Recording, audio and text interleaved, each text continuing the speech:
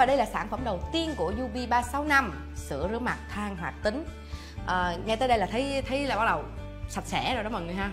Thực sự là à, Thư cũng đã dùng nhiều cái sản phẩm Nó có cái gọi là cái chất liệu than hoạt tính ở trong đó. Thì mọi người sẽ hỏi than hoạt tính nó có tác dụng gì? Đầu tiên thải độc. À, Làm sạch lỗ chân lông. Và tiếp theo nữa là làm sạch các mụn đầu đen. Đó. Và đây là một cái sản phẩm rất là đặc biệt của thương hiệu UV365 mọi người ở trong này không phải là gel nha, cũng không phải là gì mà nó là bột. À là bột nha mọi người. Cái sữa rửa mặt này làm bằng bột. Và nếu mà mình sẽ xài một ngày khoảng hai lần thì cái, với cái bình như thế này, cái lọ như thế này thì chúng ta có thể xài được trong vòng nửa năm. Cách xài cũng cực kỳ đơn giản, bởi khi nó là bột á, nên mình sẽ tiết kiệm hơn được rất nhiều.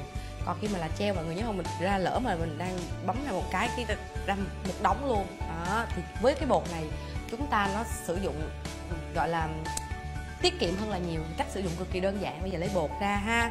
Rồi bắt đầu mình sẽ mình sẽ rửa mặt trước bằng nước ấm nè. Đó rồi mình lấy một bột vào vào tay và bắt đầu mình thoa lên mặt ha. Mình thoa lên mặt bắt đầu mình massage. Tất nhiên ai rửa mặt cũng phải massage nha mọi người nhé mình phải luôn massage theo hình xoắn ốc nha. Đó mình sẽ massage xong rồi mình cảm thấy sạch. Mình massage trong khoảng 2 phút.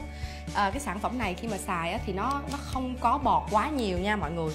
Nên nó ủa sao xài mà không có bọt hoang mang quá. Nó không có bọt quá nhiều khi mà mình xài xong massage trong vòng 2 phút. Đó bắt đầu mình rửa sạch mặt lên. Đó.